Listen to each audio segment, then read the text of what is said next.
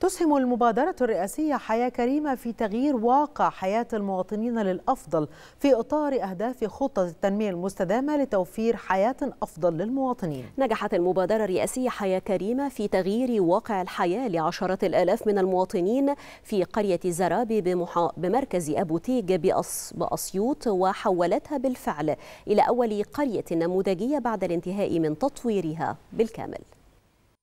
تغيير ملموس في واقع وحياة المواطنين. أسهمت فيه المبادرة الرئاسية حياة كريمة المشروع الأكبر الذي تتبناه الدولة في إطار أهداف خطة التنمية المستدامة لتوفير حياة أفضل للمواطن. المبادرة الرئاسية نجحت في تغيير واقع الحياة لعشرات الآلاف من المواطنين الذين يعيشون بقرية الزرابي بمركز أبو تيج وحولتها إلى أول قرية نموذجية بعد الانتهاء من تطويرها كاملة بمحافظة أسيوط. الزرابي بتضم أربع قرى فرعية قرية دكران وقرية البلايزه وقرية أبو خرس. آه بالنسبة لمشروعات حياة كريمة في في القريه مشروع الصرف الصحي ومشروع الغاز الطبيعي تغيير مواسير المية من اسبستس إلى إلى بلاستيك الصرف الصحي. وبالنسبة للمشاريع ده هي أغلبها دخلت الخدمة. ظبطت لنا الزرابي دخلت لنا المجاري الكهرباء التليفونات الصرف الصحي نظفت الشوارع عملت لنا مدارس. تبطين للترع والمصارف برضو تم برضو. ما في فرق النت خط النت. بالنسبة للبلد هنا بسيط جدا. كان فين وفين؟ لما حد بيكون عنده نت.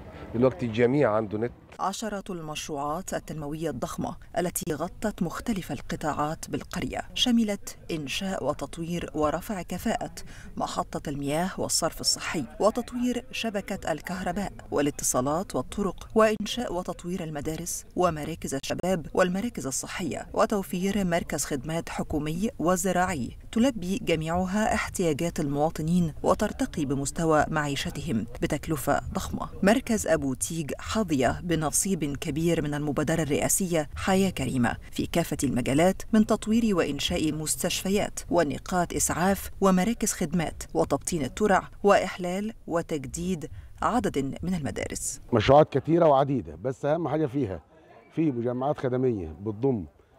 طبعا في عندنا أربع مجمعات على مستوى المركز. يضموا في وحدة تضامن والوحدة المحلية وسجل مدني ومكتب بريد وشهر عقاري. يعني الخدمات زي ما نقول مجمع مصالح كامل وفي وحدة زراعية. ويمكن إحنا من من المراكز والمدن اللي فيها المميزات ان إحنا عندنا وحدة تجميع الألبان اللي هي موجودة في قرية النخيلة. دي من كلهم حوالي ثلاثة أو أربعة على مستوى المحافظة بالكامل. المبادرة الرئاسية حياة كريمة أعادت الوجه الجميل لقرى المركز العريق بمحافظة أسيوط في إطار اهتمام الدولة بتوفير الحياة اللائقة للمواطنين.